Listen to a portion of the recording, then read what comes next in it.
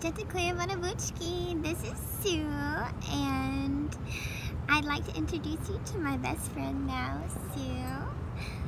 We are hanging out. She's really smart. and you know the reason why she's smart? is because she has a sock on right here. So she's the S-O-C-K-O-P-A-T-H, a Socko. She's on the Socko lifestyle. and she's so cute. She catches mice. And I really like her. Hi.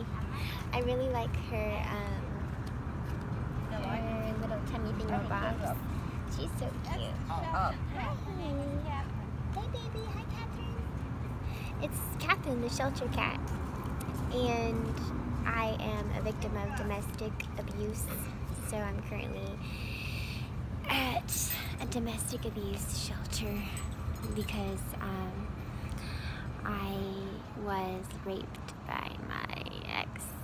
He did weird stuff to me with scientific experiments and wires. You don't want to know about it. He's not a good guy at all. So I'm married to Summer Hollingsworth's father, which is a Rush, who is a Russian immigrant fiance. Summer the 7th is my baby to be.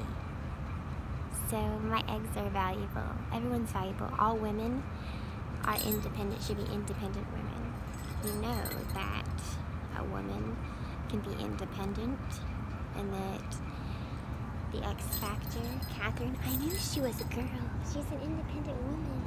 She's an independent woman.